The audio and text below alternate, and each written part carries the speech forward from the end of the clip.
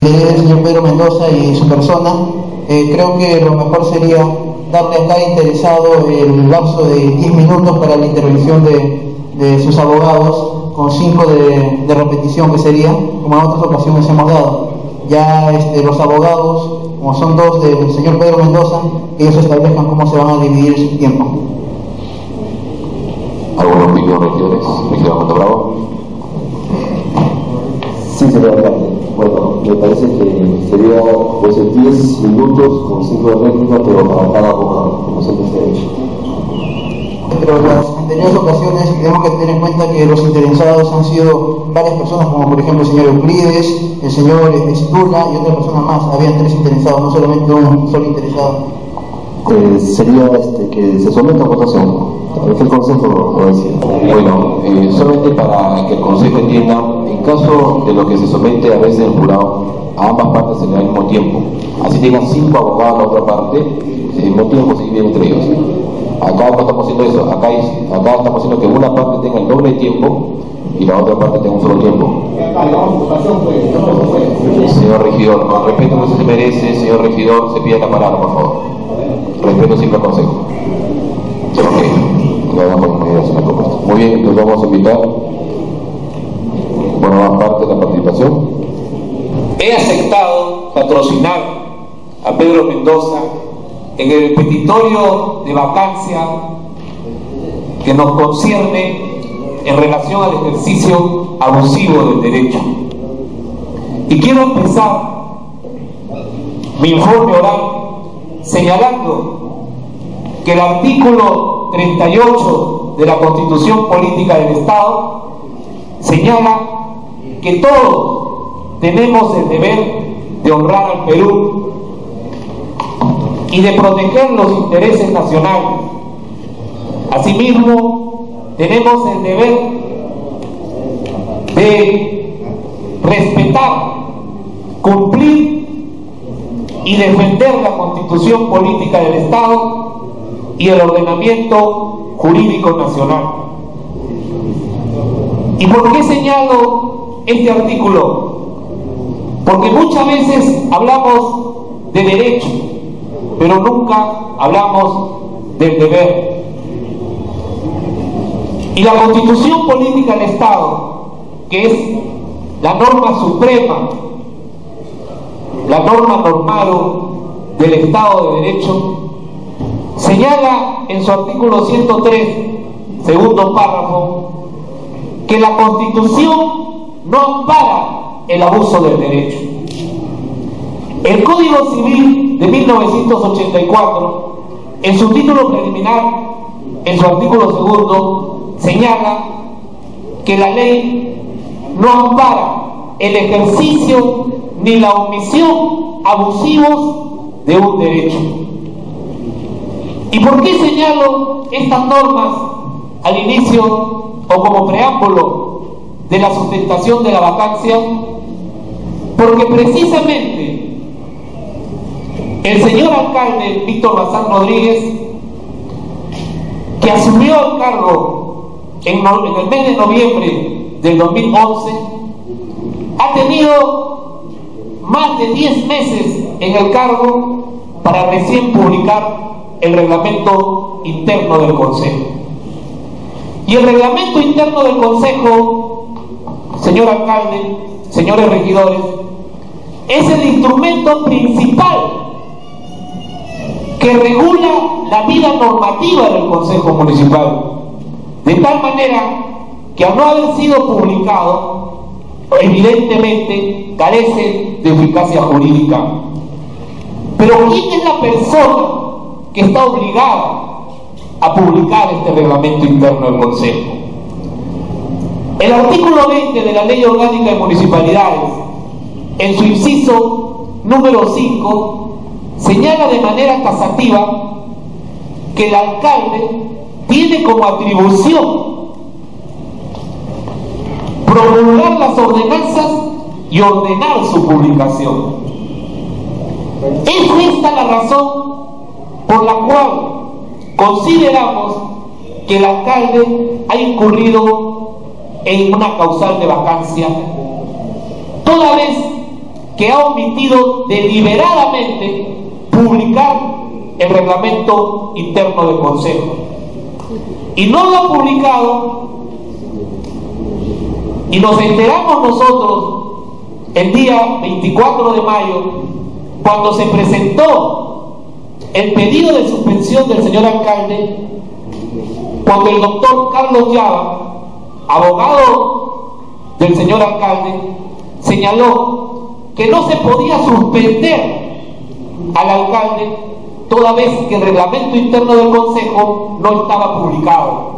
Y como no estaba publicado, por lo tanto, no tenía eficacia jurídica, no era eficaz y que se había hecho la consulta al peruano y que por lo tanto el alcalde no podía ser suspendido.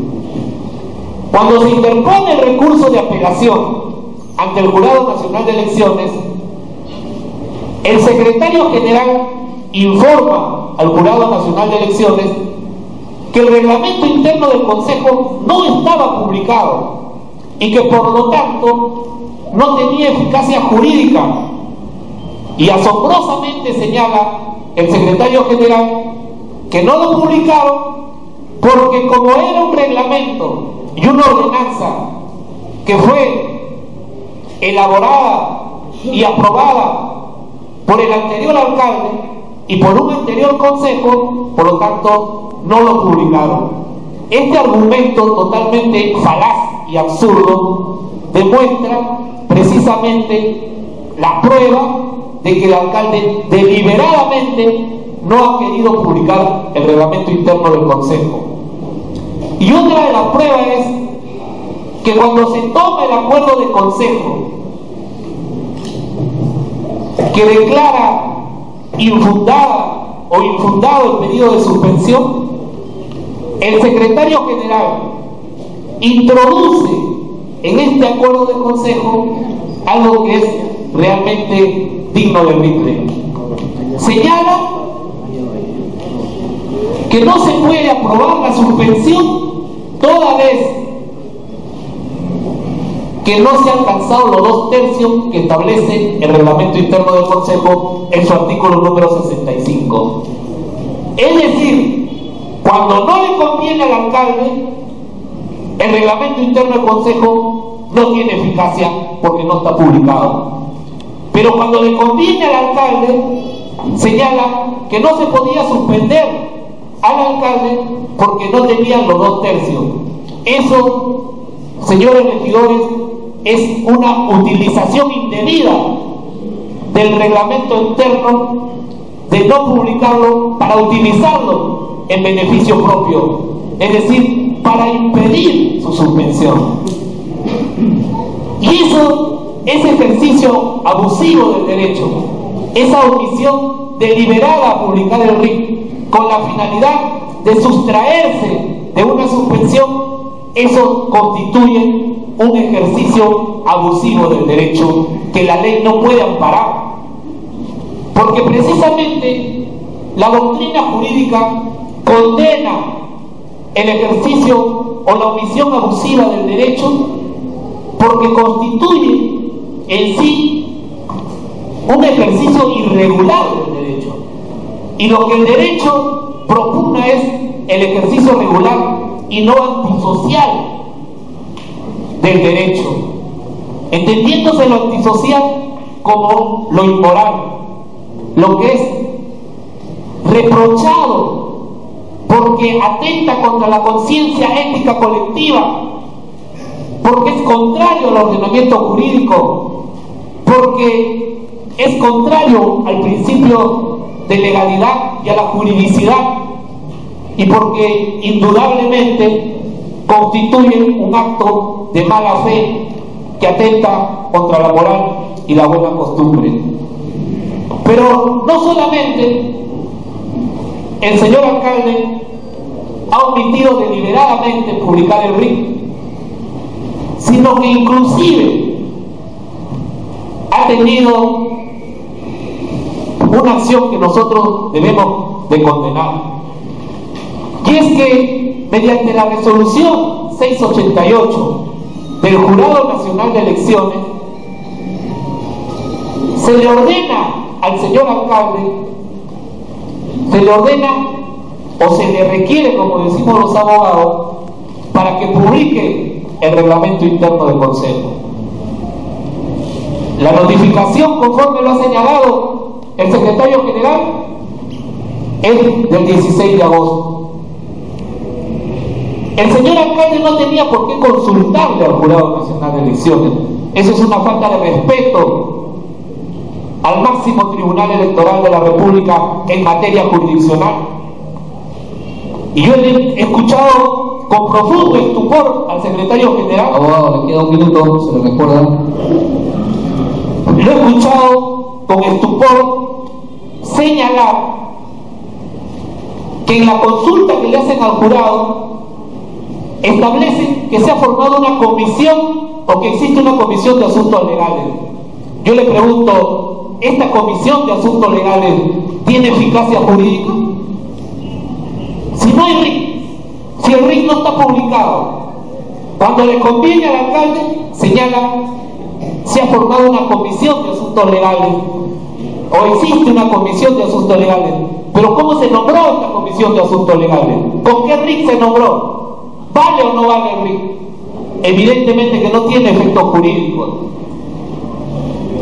Y le dicen al jurado que como la Comisión de Asuntos Legales iba a elaborar otro RIC, no podía publicarlo. Esto definitivamente demuestra el grado de incapacidad del secretario general, porque desde el momento que el Jurado Nacional de Elecciones ordenó la publicación solamente tenía que cumplirse porque los mandatos del Jurado Nacional obligan a todas las municipalidades del país, a los gobiernos regionales, por ser un ente jurisdiccional.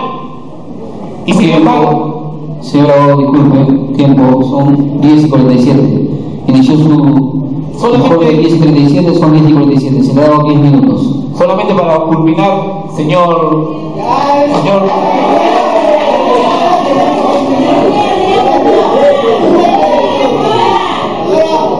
Orden, por favor, señores. Orden, si no se le va a invitar a abandonar la sala. Bueno, yo lamento, señor alcalde, que traiga gente para que no deje informar a los abogados. Este es un acto, Señor abogado, por este es un acto democrático. Señor abogado. Este es un acto de democracia. Señor abogado. No se tiene por qué utilizar a las personas. Señor, tu- tiempo cumplido. Bueno, muchísimas gracias, señor abogado. Puede tomar asiento. Puede pasar enseguida al doctor Edgar Rodríguez. El doctor Rodríguez Leiva.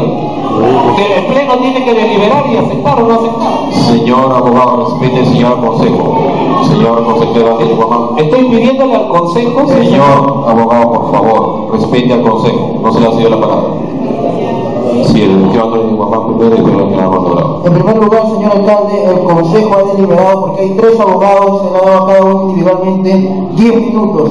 Por lo tanto, ya se ha establecido ello, si no se encuentra el señor Rodríguez Leiva, lamentablemente se tiene que pasar a la otra parte, señor alcalde, porque esto sería una falta de respeto al Consejo que estamos aquí presentes. Regidor Armando Ramos, por favor, público asistente, por favor, orden, por favor. Sí, señor alcalde. Eh, con respecto del control del Consejo del Público, mi persona ha tenido conveniente de que se le dé la oportunidad a cada abogado, 10 minutos a cada uno con 5 de réplica, y eso es lo que el Consejo ha aprobado. Pero en este caso no el otro abogado, yo creo que ahí debe quedar porque tampoco sería eh, igualdad de derechos para cada abogado. ¿no? Era 10 para cada abogado. Si no está otro abogado, yo creo que ahí debe terminar. Señores, invitamos, invitamos. Distinguido auditorio, me voy a remitir de manera expresa e imperativa a lo que establece la ley orgánica de municipalidades, porque estamos en un proceso o procedimiento de vacancia y no hablamos para las pasiones, sino en virtud del derecho. Y es en virtud del derecho de que nos tenemos que remitir para efectos de aprobar o desaprobar una vacancia. Y para eso es necesario hacer referencia al artículo 22 de la Ley Orgánica de Municipalidades. Establece de manera imperativa y taxativa las causales por las cuales procede la vacancia de un alcalde o de un miembro del Consejo Municipal, en este caso un regidor. En ninguna de estas causales está establecida el hecho fáctico señalado por la parte solicitante de esta vacancia. ¿Qué ha dicho el Jurado Nacional de Elecciones, máximo órgano en materia electoral? No se puede ampliar por la voluntad de las partes de manera extensiva alguna causal no contemplada en el artículo 22. ¿Qué significa hacer lo contrario? Forzar un pedido de vacancia y lograr que se autorice vía Consejo Municipal un pedido de vacancia que a todas luces resulta infundado. Se han presentado varias solicitudes de vacancia al Jurado Nacional fuera de las causales señaladas. El Jurado Nacional ha establecido de manera clara que no procede ningún tipo de vacancia fuera de los supuestos contemplados en el artículo 22. Hacer lo contrario sería más bien incurrido en responsabilidad de los miembros del Consejo al pretender forzar, como ya sucedido en muchos casos, en anterior oportunidad inclusive señalé que el caso de Pachacamac, el jurado dispuso que se remitan copias certificadas para todos los miembros del Consejo por haber aprobado una vacancia fuera de los supuestos contemplados en el artículo 22 de la Ley de Municipalidades. Que no se vea esto como un acto de intimidación, como algunas veces se ha malinterpretado, sino solamente nuestro labor como abogado es ilustrar a este órgano eh, municipal que va a resolver en primera instancia una solicitud de vacancia. Se ha dicho acá también con mucha pasión de que eh, el señor secretario habría emitido un informe al Jurado Nacional de Elecciones, y esto debe ser grave, cuando el señor abogado señala que como era un reglamento anterior y de un consejo anterior, no se ha publicado. En realidad, esa afirmación falaz y absurda, como lo señaló el abogado, no existe.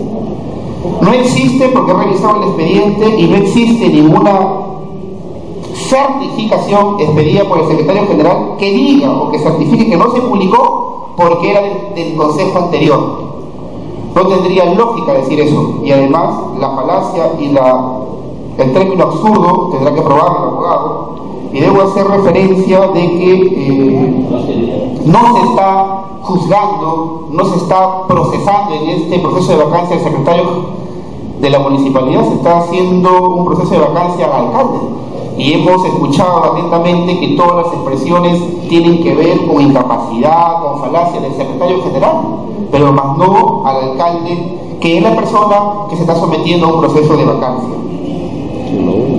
Debo decir que eh, aprobar una vacancia por una causal no señalada en el artículo 22 sería un acuerdo inconstitucional porque sería ilegal, sería arbitrario y hasta tiránico.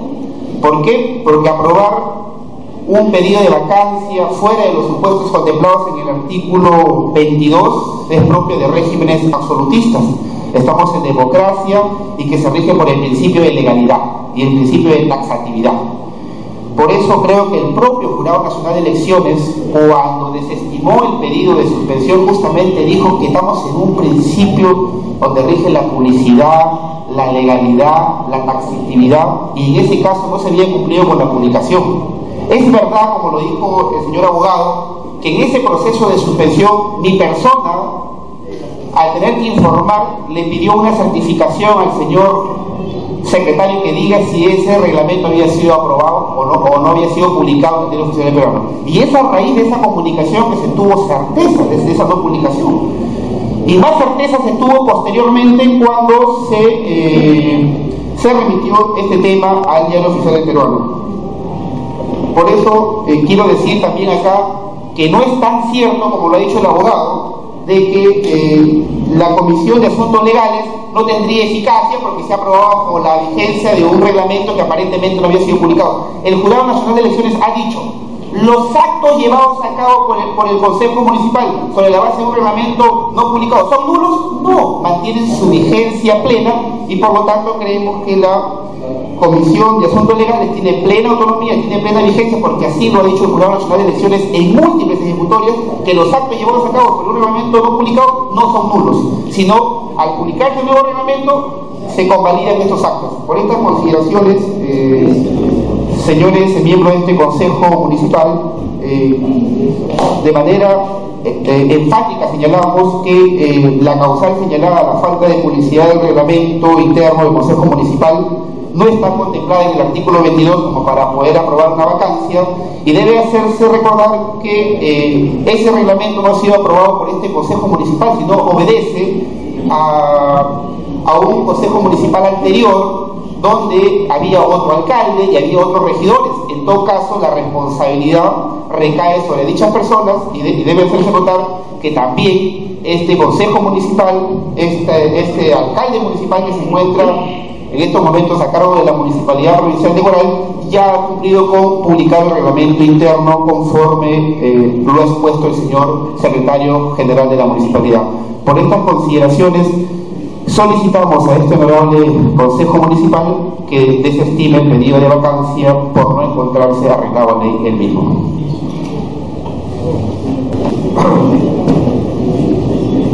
Quiero señalar que si bien es cierto, no se encuentra tasativamente establecido en el artículo de la Ley Orgánica de Municipalidades, el Jurado Nacional de Elecciones, en la resolución 612,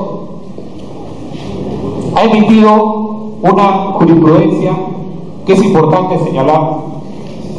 Y quiero brevemente dar lectura porque en esta interpretación que hace el Jurado Nacional de Elecciones, por primera vez en todo el desarrollo de la doctrina jurisprudencial, ha establecido y ha dejado abierta la posibilidad de que cuando exista un ejercicio abusivo del derecho, como sucedió en el caso de San Martín, el Jurado Nacional de Elecciones, aún no estando tasativamente establecida la causal de vacancia, el jurado puede aplicar la teoría del ejercicio abusivo del derecho o del ejercicio u omisión abusiva del derecho.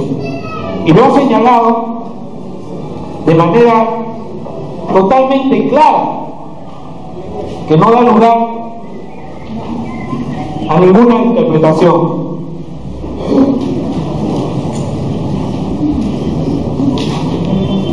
¿Qué es lo que ha dicho el Jurado Nacional de Elecciones? Entre otros argumentos. Esta es una situación que obviamente no puede ser convalidada por este tribunal y frente a la cual no puede permanecer indiferente, pues aunque sea una jurisdicción especializada en vista de su materia, por sobre esta especialización, tiene el deber de velar por los principios que rigen el Estado constitucional, conforme lo ordena el artículo 38 de la Constitución, y de no amparar, conforme lo exige el artículo 103 de la Constitución, el abuso del derecho. Por lo cual, ha de entenderse que todo ejercicio abusivo de un derecho no es derecho. Por lo tanto, a juicio de este Supremo Tribunal Electoral, el cuestionado ejercicio de facultades efectuado por los regidores de San Martín ha quedado invalidado, desnaturalizando sus competencias y llevándolos a actuar como le competiría al alcalde y no al Consejo Municipal. De tal manera que no es tan cierto lo que dice mi distinguido colega Carlos Llava, que solamente se puede bajar por las causales establecidas en la ley, sino que al haber el doctor Víctor Bazán Rodríguez incurrido en un ejercicio abusivo del derecho, al no haber respetado la magistratura del máximo tribunal electoral de la República, que le ordenó que en 10 días tenía que publicar el RIC y lo ha hecho el día 21 de septiembre, todavía previa consulta señalando que no tenía, que era un imposible jurídico. Y yo le pregunto al alcalde, ¿era un imposible jurídico publicar el RIC? ¿De dónde sacó ese argumento el alcalde? ¿De dónde sacó ese argumento en la municipalidad y 20 abogados? Fuera del abogado del doctor Llava que ve las vacancias.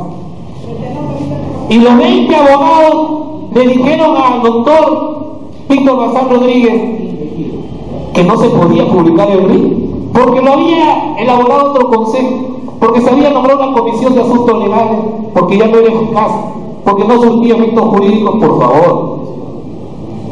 Eso demuestra que no existía la voluntad de querer cumplir con el mandato del Jurado Nacional de Elecciones. y por esas razones se ha configurado y se ha tipificado el ejercicio indebido, malicioso, porque el derecho no puede amparar la mala fe, no puede amparar la malicia, no puede amparar un acto que es contrario al fin mismo de la institución, en este caso el Consejo Municipal. Por eso consideramos que este ejercicio ilegal, que esta omisión deliberada de no haber publicado el durante 10 meses que viene desempeñándose como alcalde, teniendo más de 20 abogados traídos de afuera, yo creo que en este caso el señor alcalde sí ha incurrido en causal de vacancia y por lo tanto el Consejo debe aprobar esta mañana la vacancia en cumplimiento de un principio constitucional de que la ley no ampara el ejercicio abusivo ni la omisión abusiva de un derecho. Muchas gracias. Si bien es cierto, respetamos, pero no compartimos. Y cuando digo no compartimos, y es necesario hacer una precisión acá, de que señala apasionadamente la mala fe, la malicia, que el derecho no debe amparar estos actos ilegales. Y yo digo más bien el derecho no ampara la arbitrariedad, la ilegalidad, la tiranía con la que solicita esta vacancia, porque trata eh, de manera aparentemente jurídica de decir que hay un precedente en el Jurado Nacional de Elecciones y hay que recordar que ese precedente del Jurado Nacional de Elecciones que hizo referencia está referida justamente a un acto arbitrario, a, una a un acto ilegal y a un acto tiránico. ¿Y por qué digo un acto ilegal, tiránico y arbitrario? Porque el Consejo Municipal hizo algo en contra de la ley. ¿Y cuál es ese acto en contra de la ley? Cesar a un gerente municipal. ¿Y por qué el jurado en ese precedente señala el abuso del derecho? porque está bien, las cosas se tienen que hacer bien. Si está establecido que el Consejo debe cesar al gerente, pero tiene que hacerlo respetando las formas, respetando el debido proceso, respetando el derecho y no haciendo actos ilegales, arbitrarios y tiránicos. Por eso cuando señalé y dije, este Consejo Municipal no puede aprobar esta vacancia porque de hacerlo podría originar lo mismo que sucedió en la jurisprudencia. Hacer una denuncia y un pedido paralelo a la comisión de un auto arbitrario que para nosotros de una perspectiva jurídica lo es. Lo han reconocido de manera expresa, de manera expresa que la causal invocada no está como causal de vacancia. Ese hecho de por sí debe hacer mayor análisis sobre este pedido de vacancia. Ahora, ha dicho que el señor alcalde de manera deliberada, eso es lo que dice y, y frente a hechos que solamente existen en la imaginación de mi querido colega. ¿Y por qué digo que existen en la imaginación de mi querido colega? Por la sencilla razón de que le ha solicitado al jurado que aplique el apercibimiento que dio. El jurado que dijo, señor Víctor Bazán, usted publique el reglamento, porque si no publica el reglamento, la consecuencia es que yo voy a remitir copias al Ministerio Público para que lo denuncie por el delito de desobediencia. Eso es el apercibimiento que dio el jurado. El jurado no dijo, si no publicas te voy a declarar la vacancia. Entonces, y este no es el primer caso. Han sucedido otros casos sobre la no publicidad. Está el caso de Guaura, donde no se ha publicado el reglamento interno, se ha publicado recientemente. Está el otro caso también de Cajamarca, donde no se publicó el reglamento, y en ninguno de los casos se planteó y el jurado dijo que acá había vacancia, porque no procede. Entonces, y hay que recordar que los solicitantes de este pedido de vacancia y el pedido de suspensión le han pedido al jurado que aplique el apercibimiento que decretó. ¿Y qué ha hecho el jurado? El jurado a, lo que ha dicho es, señor alcalde, respondiendo a su consulta, voy a responderle que usted debe publicar por este y por este y por estos motivos. ¿Y ha dado respuesta a su pedido para que se aplique el apercibimiento de revisión de copias? No, tendrán que esperar. Entonces creemos que va a dar una respuesta en su momento y tendrán que esperar. Pero se, se agitan las aguas de manera precipitada y creemos que eh, este pedido de por sí deviene el infundado por las consideraciones expuestas y señaladas, toda vez que de hacerlo se estaría consumando un acto, como lo dije, ilegal, arbitrario e inconstitucional, porque se estaría aprobando una vacancia fuera de las causales establecidas en el artículo 22, que ha sido reconocido por el propio solicitante de la vacancia. Con estas consideraciones me ratifico en todo lo expuesto respecto a la improcedencia del pedido de vacancia. Saludos abogados. Podemos apreciar también, señor alcalde, hay algo muy importante en este tema, ya que nosotros como colegiados nos regimos también en base a la ley 27444, que es la ley de procedimiento administrativo general, la cual, de una forma complementaria, también rige a lo que es la ley orgánica de municipalidades. Y no debemos olvidarnos que esta ley, la 27444, se rige bajo el principio de legalidad, a la cual solamente estamos sujetos a realizar todo lo que emane dentro de esta ley, más otras cosas. Y la ley orgánica de municipalidades prácticamente lo dice, señor alcalde, cuáles son las causales establecidas para la vacancia. Y es imposible que se pueda decretar la vacancia por la no publicación del reglamento interno de consejo, ya que no está establecida en la ley 2797, ley orgánica de municipalidades, como causal de vacancia. Por otra parte, señor alcalde, cuando el Jurado Nacional de Elecciones resuelve el pedido de suspensión que le venía siguiendo a su persona, manda en su artículo segundo, dice requerir al alcalde de la Municipalidad Provincial de Guaral en el plazo de 10 días hábiles de recibido el presente, cumpla, cumpla con publicar la ordenanza. Esto fue recibido, señor alcalde, el día 21 de septiembre. Y podemos ver, señor alcalde, que el solicitante presente el pedido de vacancia el 30 de julio, antes de que usted le ordenara el Supremo Tribunal de Elecciones que publique el RIC. Por lo tanto, otro de los argumentos, señor alcalde, es que esta solicitud de vacancia no puede proceder, ya que también se ha dado cumplimiento a lo que le ordenó usted el Supremo Tribunal de Elecciones.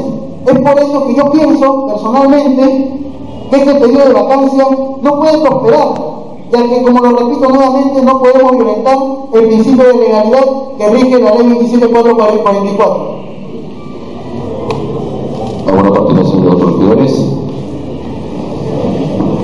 Caso contrario, pasamos a la votación.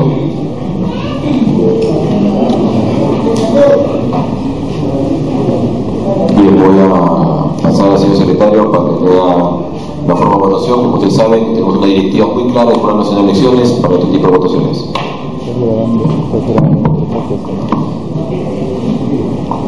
Bueno, señores miembros del Consejo, eh, de acuerdo al artículo 23 de la ley número 27972, Ley Orgánica de Municipalidades, para declarar o rechazar la vacancia se exige o se requiere el voto aprobatorio de dos tercios del número legal de regidores. Para ello, para garantizar el principio del debido proceso, la transparencia, la imparcialidad, la legalidad, se va a proceder a la votación en forma nominal para que pueda expresar su voto consciente cada regidor ante el pleno del Consejo.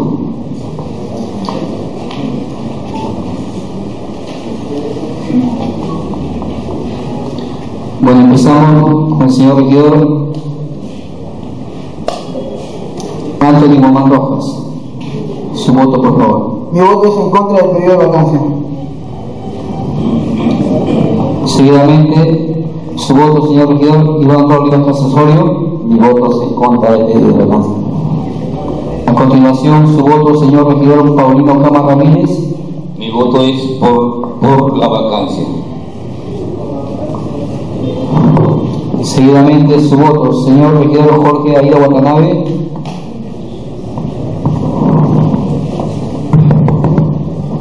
A favor de la vacancia.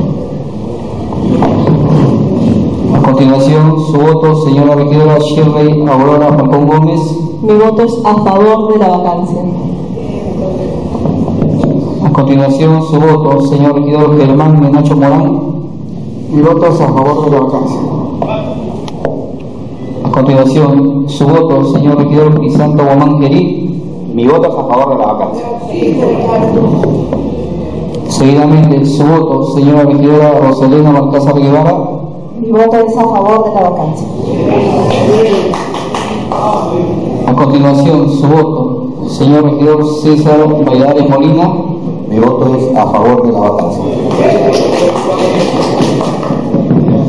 A continuación, su voto. Señor regidor, se nombra Armando Bravo Bastión. Mi voto es a favor de la vacancia. A continuación, su voto. Señor Eduardo Martech Avia. A favor de la vacancia.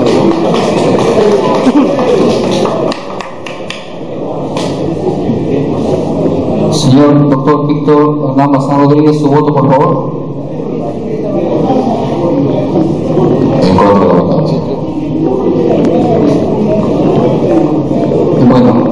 Haciendo el conteo tenemos